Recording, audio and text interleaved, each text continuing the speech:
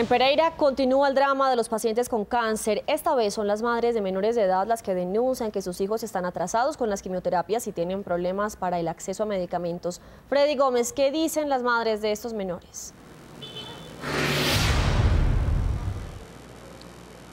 Cata, buenas tardes. Las mamás están muy preocupadas pues aseguran que por cada semana de retraso que tienen sus hijos en el tratamiento, la enfermedad se torna más difícil de controlar y el tratamiento sería más largo. La preocupación por parte de ellas es muy alta. Valentina tiene seis años de edad, tiene leucemia y lleva dos meses sin recibir quimioterapia. A eso se suma que los medicamentos que debe tomar no han llegado desde hace tres semanas. Y nos ponen a voltear para allá, para acá y nada, y sí, se van desmejorando mucho y la preocupación de nosotros es con el atraso del tratamiento es una recaída.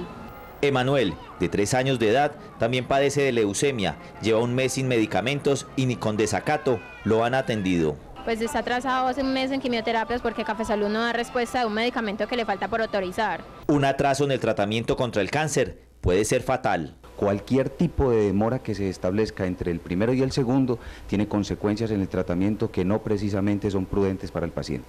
Según las normas nacionales, los niños con cáncer deben ser prioridad en la atención. Sin embargo, muchos de ellos deben esperar varios meses para recibir la medicina e iniciar un tratamiento de quimioterapia. El sistema de salud en este momento es inhumano, no, no tiene un protocolo, no tiene una protección especial para estas personas. La gerente regional de Café Salud informó que se están haciendo las gestiones para resolver estos problemas. Vamos a revisar lo que se ha autorizado y lo que haga por falta por autorizar para pues terminar así con, con en buen en buen término con la con el tratamiento de los niños. Aseguró además la gerente regional de Café Salud que las personas que tengan inconvenientes en el tratamiento contra el cáncer se pueden acercar a sus oficinas en busca de soluciones.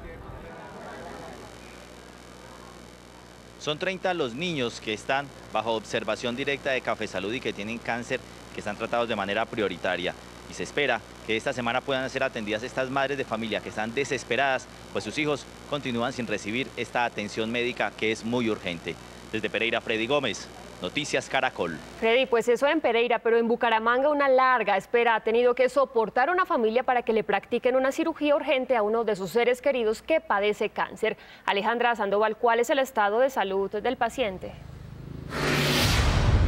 Así es, continúa en esta clínica recluido, hospitalizado, este paciente que padece cáncer de garganta. Según sus familiares, cada día se empeora más.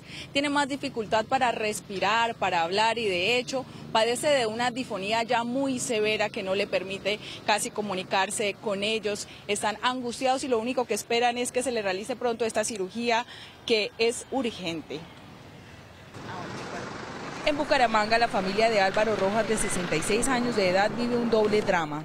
A él se le diagnosticó cáncer en garganta hace más de un año, pero en noviembre pasado se complicó su salud y tuvo que ser hospitalizado en la clínica Salucop, hoy Café Salud se le autorizó una laringotomía que hasta hoy no le han realizado. Meses, meses luchando día a día con la EPS, con los procesos administrativos de ellos. Vemos cada día se deteriora más eh, la salud de mi papá, su estado anímico también se ve afectado. Eh, total, la familia, todos totalmente afectados. Nuestro tema es bastante complicado y no, no sentimos que el proceso no avanza, no fluye y no hay ninguna respuesta positiva. Con impotencia, Lady, la hija de este paciente, lee la última respuesta mediante un correo electrónico en el que confirma Sandra Ortiz, directora médica de Salucop, que ha sido negada la cirugía por parte de la IPS Foscal. Foscal eh, contesta que no tiene eh, salas disponibles para realizar esta cirugía y que será evaluado nuevamente el, caso el 21 de diciembre, el lunes, eh, y que el especialista se encuentra por fuera de la ciudad, lo cual no es cierto porque yo he hablado con él. Noticias Caracol habló telefónicamente con la persona encargada de la Dirección Médica Regional de Café Salud, pero no se refirió al caso porque dijo estar fuera de la ciudad. Mientras tanto, la salud de don Álvaro sigue deteriorándose. La familia de este paciente espera que en las próximas horas puedan obtener una respuesta definitiva por parte de la EPS y IPS para realizarle este procedimiento. En Bucaramanga, Alejandra Sandoval Sarmiento, Noticias Caracol.